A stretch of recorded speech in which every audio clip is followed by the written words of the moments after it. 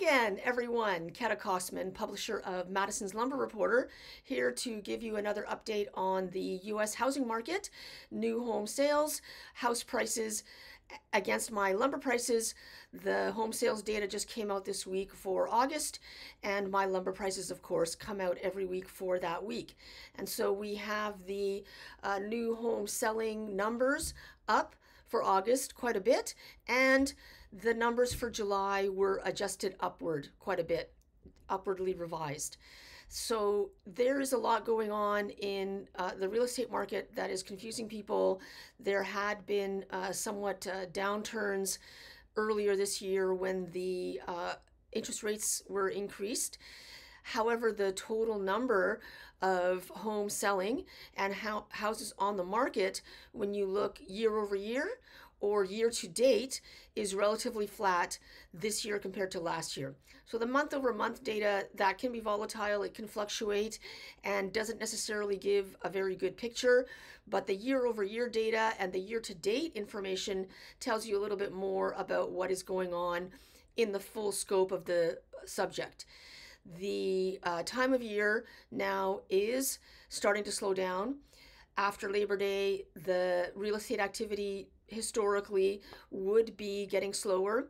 And that also means that lumber selling slows down and lumber prices start to drop, which is what is happening right now.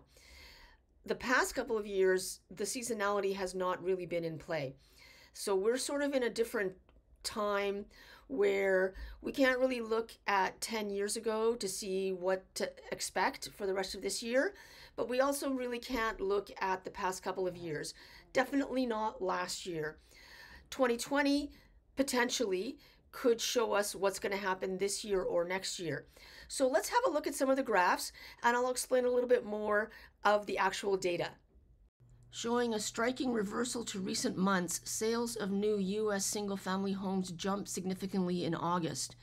There were 685,000 new single family homes sold last month, which is up almost 29% from the sharply upward revised July rate of 532,000 and is flat compared to the August 2021 rate of 686,000.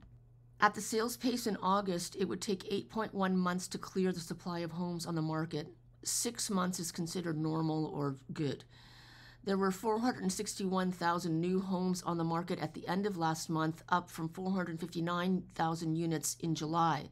Houses under construction made up 66.4% of the inventory, with homes yet to be built accounting for 23% of that.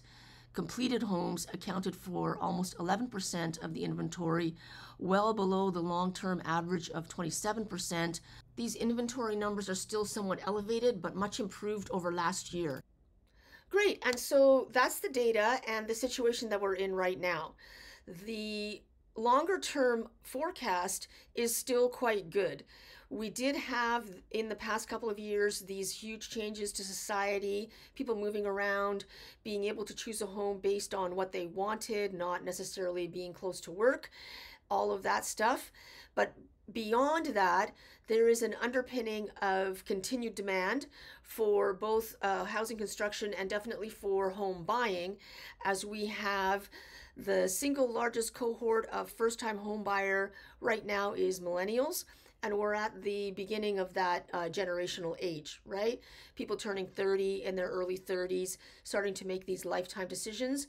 There's about 15 years worth of people still to come, okay? When you put that together with how the US was underbuilt drastically after the housing crash from 2006 to about 2018, you have a very imbalanced supply demand situation where there needs to be more home building to meet this future looming demand that's going to be coming over the next 15 years. Now, the other thing that's important is that so far it has looked like the appetite of the millennials is not for a single family home. They're not necessarily looking to buy a house with a yard. There is a desire to be in a community for these townhome uh, condo type where there's a grocery store, a school, you know, a community center where they can bike around to do everything. They don't necessarily need to have that, you know, mowing the lawn uh, the way that previous generations have wanted. So there is a switch from single family housing into multifamily. At the same time, there is an aging housing stock of the single family construction is starting to age out. Depending on you know where it is and what it was made of and how it was built uh, about 50 years 60 years uh, is starting to be the end of life for these homes that are existing right? So we look at new homes because that's obviously housing construction which is lumber demand which is what i do. Um, but it all plays into each other so if you like what you see here, subscribe here on YouTube.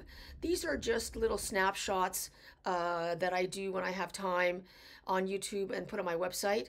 The full scope of the data, 500 individual softwood lumber and panel prices, that goes to my subscribers of my dashboard. They also get the commentary, and that comes out every week.